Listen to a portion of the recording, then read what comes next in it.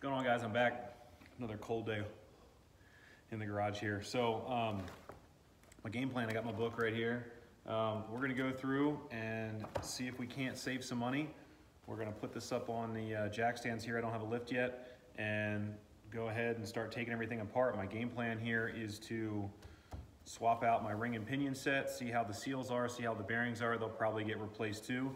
This will be my first time doing this, so you know, watch along with me and hopefully we both learn something.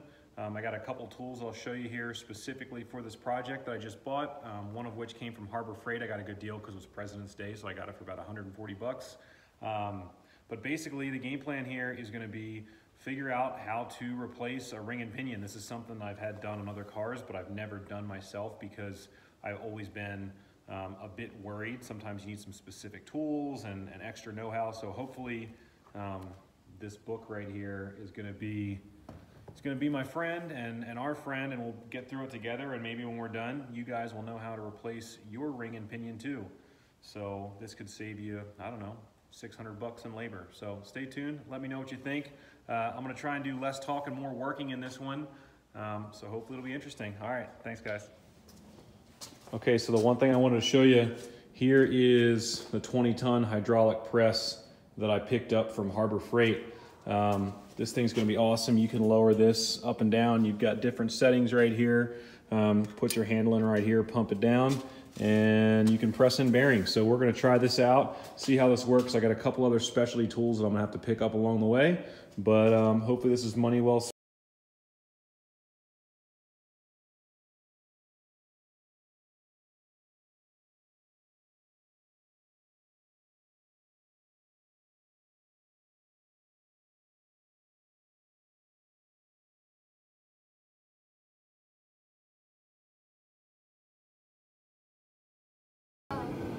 Okay, so we got the uh, the wheels and the disc brakes removed.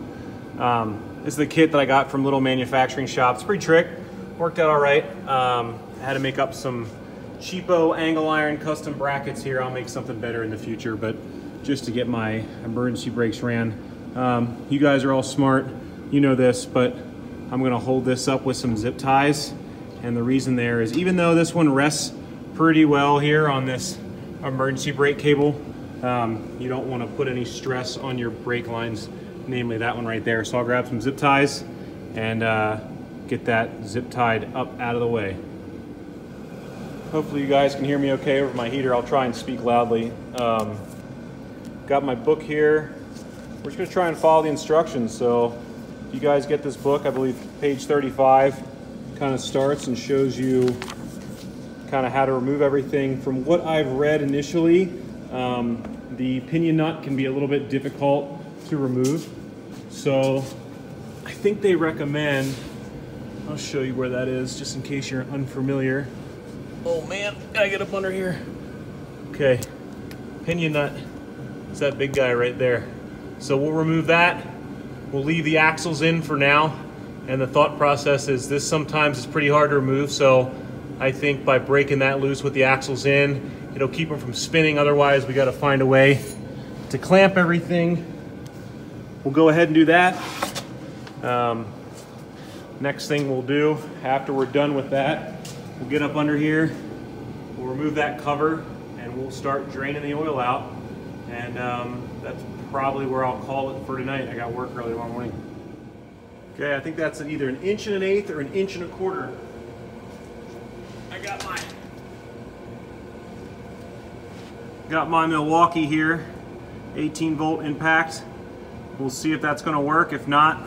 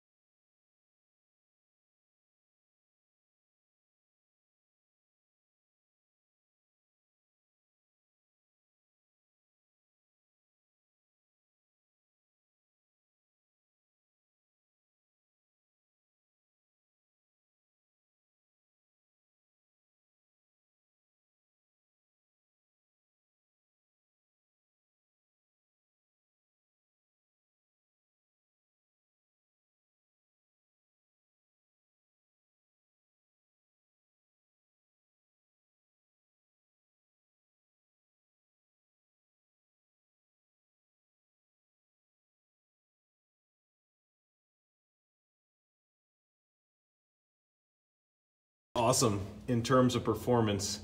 I don't know how I didn't realize this. If you count the number of ring gear teeth as you spin it, and then count the number of pinion teeth on your pinion, and you divide your ring gear teeth by your pinion gear teeth, you'll get your rear end ratio.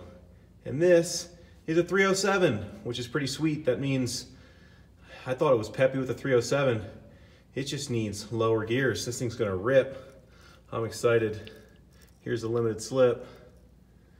There you go. Pretty cool stuff. Um, what else can I tell you? Let's see. Honestly, oil looks pretty good. I may not have to do the bearings in this. We shall see. Very cool. 307s. Nice. Time to put some low boys in there. I got really nerdy today, guys. Um, I made a few different tables. So what's important here is you can determine what your cruising, you know, whether whether you want to solve for speed, like miles per hour, RPM, you can do all that. All you need to know is you need to know your gear ratios, you need to know your tire height, which you can look up, and you need to know the rear end ratio. So basically, I created a couple different tables here for the stock 307s, what's in there right now. And there's a cat. Sorry about that, my awesome cat got in the way. Okay, if we go back here, we look at 307s. Um, the takeaway from this is if you know your tire diameter, which you can either measure or look up, your gear ratio, which at this point I assume you know, or you're picking one, so you can choose that. And then you know uh, your gear ratios for each of your gears. So first we'll just look at cruising speed. So I'm talking about when you're on the freeway, you're at a constant speed, you're in high gear. So for my T56, um, this has a double overdrive, meaning first through fourth um, are regular and fifth and sixth are both overdrive sixth gear is a 0.5 overdrive. That's a huge overdrive. So um, when you look at these graphs, you can kind of see basically on the vertical axis, you have uh, engine speed and RPM, and then on the horizontal axis, you have miles an hour. So you can see in each gear, one, two, three, four, five, six, um, at maximum RPM or any RPM, what speed are you at? So if we click to 373s, the graph changes. If we click to 411s, the graph changes again. It's a little bit hard to tell if I go to this type of view and we look at what's on the left-hand side of the screen, just focus on this side, and we scroll down. So we're starting at 307s, we go down to 373s and 411s. What's happening here is the graph is tilting this way.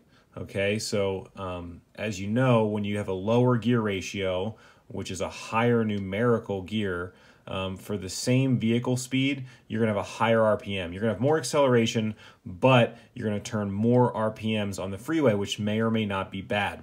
So, get out here. Um, if we go and we look now at the top right-hand side of the screen, uh, I'll show you, let me zoom in here. My computer stops updating.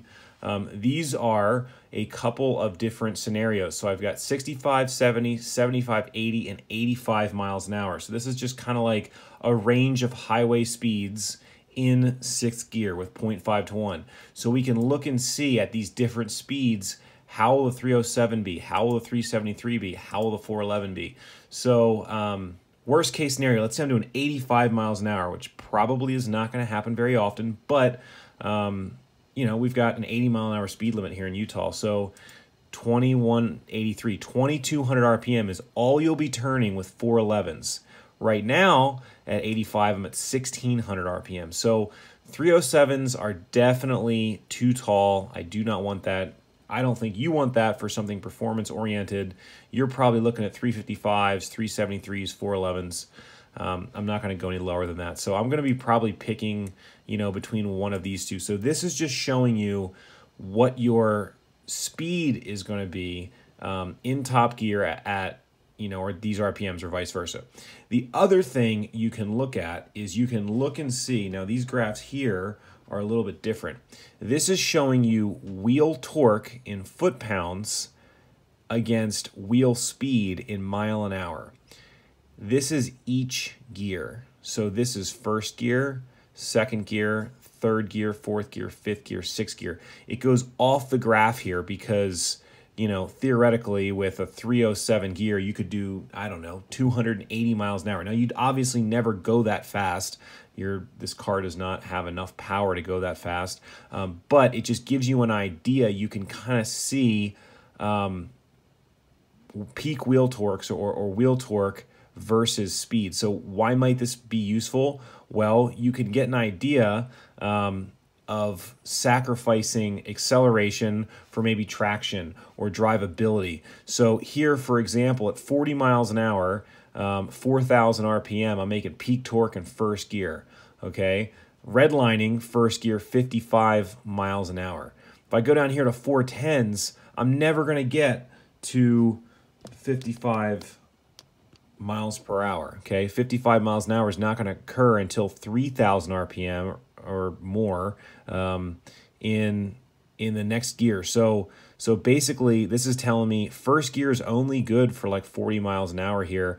You're making a lot more torque because you have this multiplier of your lower gear ratio. So you can just kind of look at these graphs and you can kind of play around and think to yourself, where am I going to be driving? What kind of performance do I want? You know, we can go and compare the other graph earlier and look at um, or the table earlier and look at highway speeds, or maybe you want to look at roll racing and you want to say that I'm going to be in third gear at 55 miles an hour. Well, this is pretty much perfect because I'm at peak torque in third gear at 55 miles an hour versus if I was in third gear at 55 miles an hour here i'm way down low on my torque curve so you know it just it just goes to show that there's different things to look at um, i kind of hoped after i did all this that i would be able to determine exactly um, exactly what gear ratio I wanted, but as it turns out, I think 373s or 410s will work. I just need to pick which one. The trade-off for 410s, a little bit worse mileage, potentially less traction in the lower gears, but it'll accelerate quicker. It might be a little bit cooler. 373s might be a little more streetable, but you give up some acceleration. So I just need to make that choice for myself. Um, hopefully these tables will help me. Maybe they'll help you. If you have questions, um, please ask them. And guys, I look at every single one of your comments. So please like my videos, subscribe, leave comments, leave questions. I love hearing from you. I will always respond. In the next video, we're going to take apart the differential even more. We're going to remove the axles. We're going to remove um, the pinion, we're going to move the ring gear, and then we're going to make a decision what we're going to do. We're going to order everything, put it back together, and then go out and drive it. So stay tuned, guys. Thanks for watching. Have a good night.